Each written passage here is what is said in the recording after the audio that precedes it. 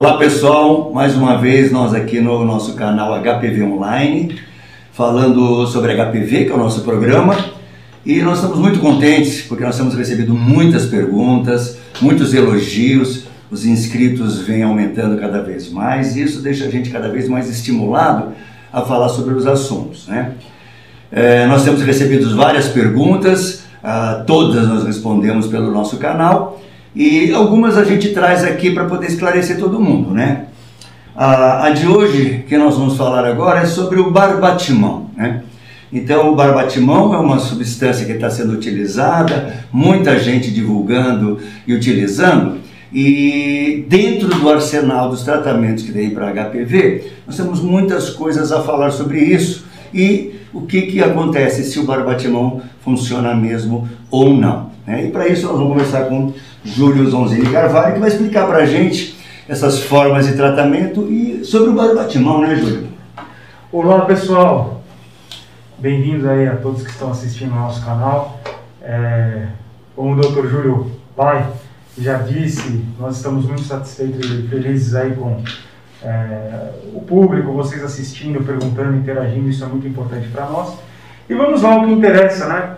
É, respondendo aí essa pergunta do barbatimão, tipos de tratamento, é, a gente acaba vendo muita coisa na internet né, e a gente tem que discernir o que é interessante é, usar como arsenal, o que ainda carece de estudos. Então, na verdade, até separei, a gente deixou aqui uma tabela que já há uns bons anos a gente tem, de tipos de tratamento. Olha só, existem milhares de tratamentos, né? Para eliminar o HPV. Alguns realmente funcionam, outros com o passar do tempo foram, caindo em desuso. Né? Então aqui vamos separar em, em, em, na verdade tem três grandes grupos, né? o químico, o, a imunoterapia e o físico, que é o cirúrgico. Né? E as vacinas que na verdade hoje em dia são como preventivos, então não como um tratamento. Então mais ou menos isso, essas quatro classes aí. Né? Aqui tem alguns falando de homeopatia, é, na verdade, é, imunoterapia e também é, a, a quimioterápicos, mas em geral são esses quatro tipos aí, sendo que o último é a vacinação, que é a profilaxia, não é tratamento.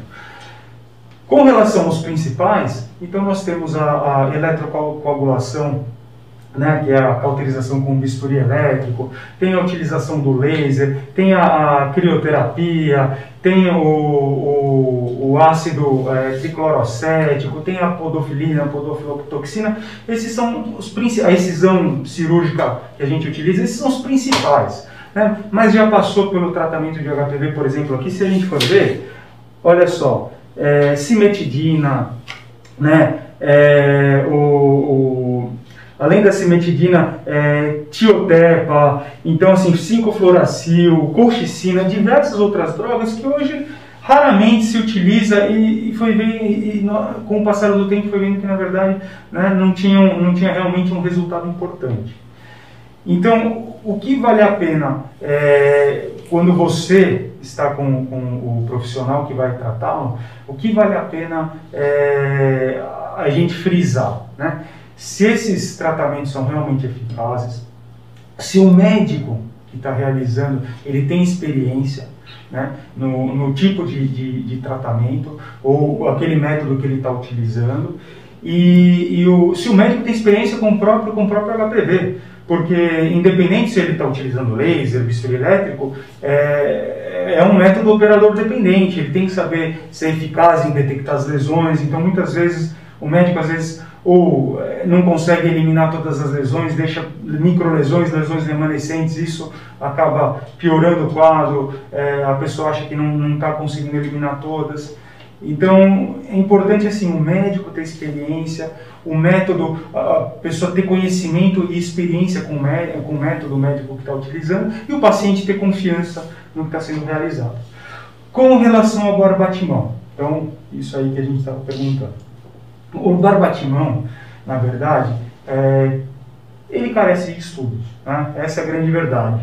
É, foi feito aí ao longo de, de, uns 12 anos, se eu não me engano, já estudos com pacientes, só que foi um número pequeno de pacientes, aproximadamente 46 pacientes.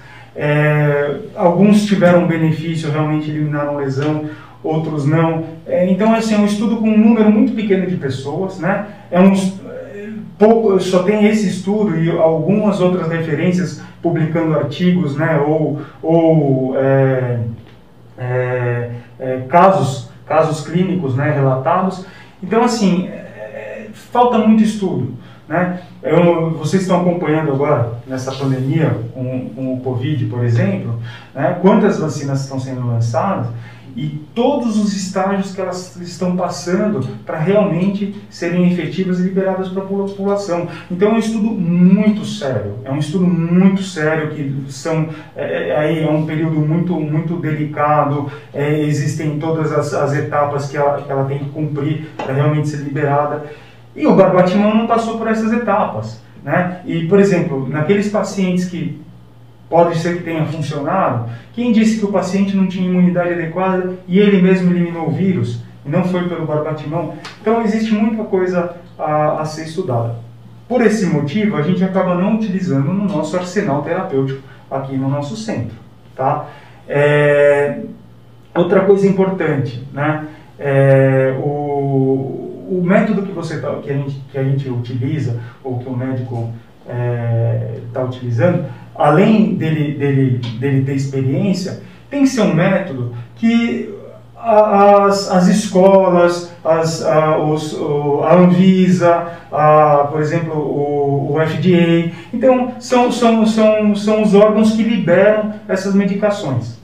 Isso é importante. Outra coisa importante são as sociedades. Então, por exemplo, os métodos que a Sociedade Brasileira de Urologia indica, que geralmente são os mesmos que a Sociedade Americana, a Europeia. Então, é muito importante né, é, as sociedades, os guidelines, a, a, a, os órgãos né, ou nacionais ou internacionais que liberam essa, é, essa medicação para ou esse método para ser utilizado como tratamento, e o médico é, saber utilizar o tratamento. Então eu acho que é mais ou menos isso que a gente tem que, tem que frisar. É, e né? o, das vacinas ficou muito claro, né? O, a liberação da, das três etapas que precisam né, para fazer, isso acontece com qualquer medicamento, né? Você precisa ter grupo controle, você Sim. precisa ter um grupo grande de pacientes, você precisa saber confirmar se era ou não aquela doença mesmo, HPV. Exatamente. Você precisa ter ideia dos efeitos colaterais. Então, isso daí, para qualquer tipo de tratamento, você precisa ter essa aprovação. Então, os médicos, em geral, eles não utilizam tratamentos que não foram aprovados pela Anvisa, pelo FDA, ou aprovados por uma sociedade é, médica, né? Sociedade de Urologia, de Ginecologia, de Dermatologia. Sim. Então, é isso está acontecendo com o abatimão, como está acontecendo com um monte de substâncias que toda hora a gente ouve, que pode ser que está fazendo efeito, mas a gente não vai lançar mão dessas substâncias desde que, não, que sejam provadas, né? E, o, e uma coisa que você frisou, Júlio, é muito importante, né? Que é a maneira que você, você faz. Então, muitas vezes, o paciente, às vezes, ele utilizou já uma série de tratamentos que a gente utiliza aqui, mas é como você faz esse tratamento, né? A procura das lesões, a procura de lesões microscópicas, é, as áreas todas avaliadas, né? E tentar evitar os tratamentos mais agressivos. Numa região que você tem lesões microscópicas, se você for colocar ácido ou queimar com eletrocautério, a área que você vai destruir é muito grande. Então, nesse momento, um laser é muito importante. Você lesa menos o tecido normal da pessoa, né? Então, assim, acho que esse, essa parte dos tratamentos, né? A gente tem que levar muito a sério, né? Eu acho que a gente falou mais ou menos o que tinha que falar, né? E Qualquer dúvida que vocês tiverem em relação a isso, é só escrever para a gente e a gente vai respondendo. Né? E não deixa de seguir nosso canal, não. Tá ok? Um abraço, hein? Obrigado, pessoal.